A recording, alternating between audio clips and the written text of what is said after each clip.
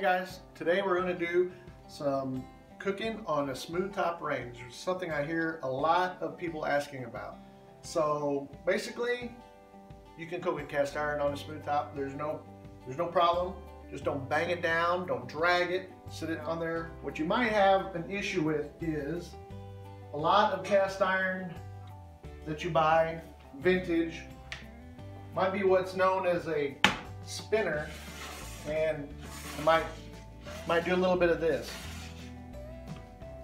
You're gonna find out by watching this channel, we do a lot of cooking with cast iron. I've never had an issue with this pan cooking on here or any spinner. It may take a little longer to heat up, but it's not, it's not a big deal. So today, we're gonna do a little cooking and we're gonna do something simple, just frying an egg. So we're gonna go over just frying an egg and how to get it not to stick. The main issue is heat. You don't wanna get it too hot. I'm gonna never go above four with cast iron. I can boil water, fry bacon, anything I need to do, four or below. So the trick is, don't get it too hot. So Today for the egg, I'm just gonna go probably about three and a half. So what we're gonna need to do is just wait and let it warm up. That's the deal with cast iron. Sometimes it takes a little longer than a your normal pan you're probably used to working with. So just give it a little time. A good way to tell is when you can hold on to, grab hold of the handle and you feel some warmth in the handle, you know your pan is ready. So let's give it about five minutes and see what happens. All right, we're back. Uh, we waited about five minutes. The handle's starting to get a little bit warm. One way to check and see if it's ready, put a little, little water. Water's dancing, that means it's ready to go. So what we're gonna do, I'm gonna use a little bit of butter today. You can use butter, ghee, whatever you're most comfortable with or like to use.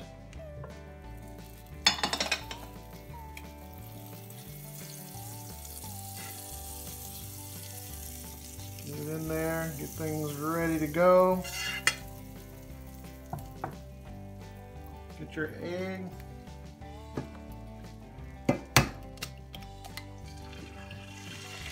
All right.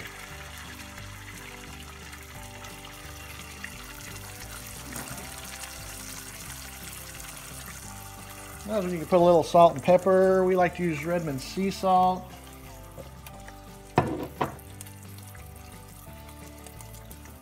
Pepper.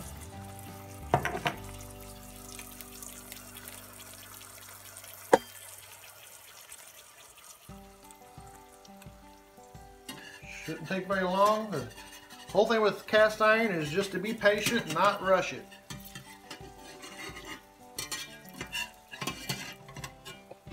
The biggest key that I can tell you with cast iron is don't overheat it. Never go above medium is more than enough. So medium to low is where I like to cook. All right, we're gonna get ready and flip this baby over.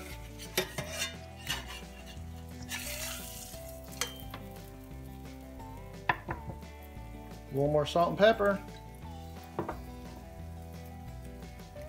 Come off of there and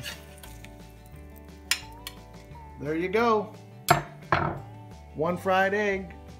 Hope this helps somebody out. Cooking with cast iron is super easy. It's just a, a matter of not overheating it is, the most important thing. Um, thanks for watching. Please like, subscribe, comment what you'd like to see us cook next. Um, we have upcoming videos on cleaning cast iron, more cooking, and doing some cast iron restoration. Thanks, guys.